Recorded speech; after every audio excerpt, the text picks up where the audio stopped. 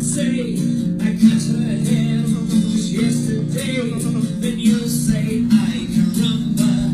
Can you please give me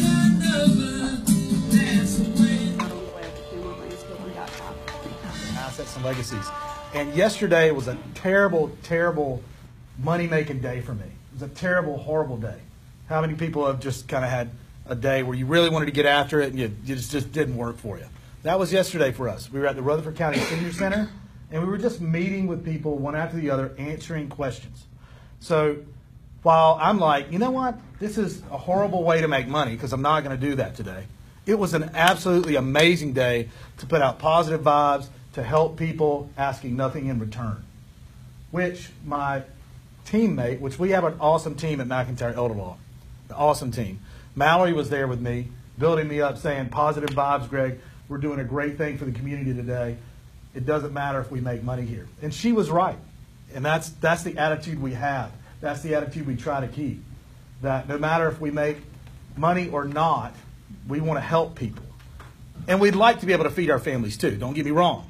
But in the end, it's about helping people. And I truly believe the more we can do that, the more we're going to get in return. So, yesterday was actually a great day for my soul because we helped answer questions on veterans benefits, review documents, and make recommendations on moves people should make in their lives to help protect their hard earned money and property.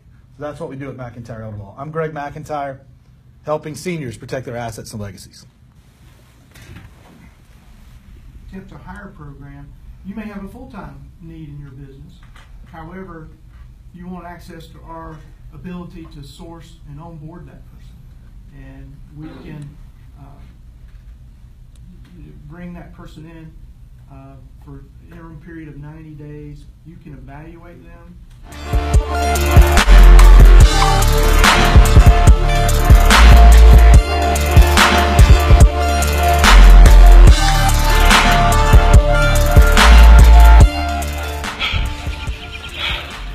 I shouldn't be tired,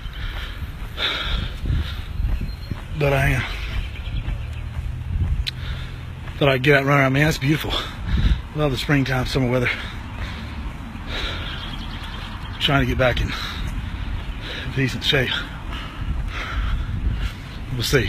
More running, less eating.